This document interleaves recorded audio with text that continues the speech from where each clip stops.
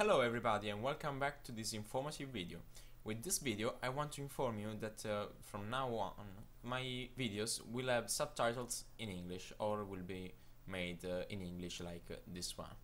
And I have to inform you that uh, I'm not English of course and uh, I only have two certifications for these languages which are the B2 Cambridge and the grade 9 Trinity certifications. So uh, of course my English uh, isn't uh, perfect and I may make mistakes during my videos but don't worry just let me know and I'll try to correct them in some way. Well, I decided to do this because I want to give um, also people who aren't Italian the possibility um, to learn something from my tutorials and that's why the subtitles uh, will come because of course if I only speak in Italian uh, people we are uh, who don't speak in Italian can't understand me of course. And that's why I decided to put English subtitles or sometimes I, I probably say we uh, probably talk in English uh, speak in English during my videos and put Italian subtitles.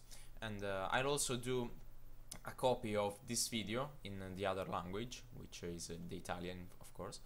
And I hope that in this way someone will um, have the possibility to learn something from my videos.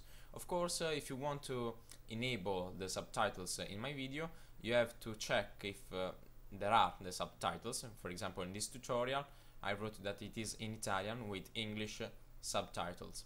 And of course, you have to load the page of the video, go here and the subtitles uh, button, click it, choose English or Italian, and uh, um, turn it on of course. And the subtitles will appear because if you don't turn them on the subtitles won't appear.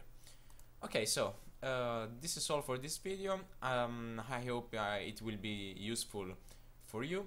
Uh, I think that uh, we can finish this here.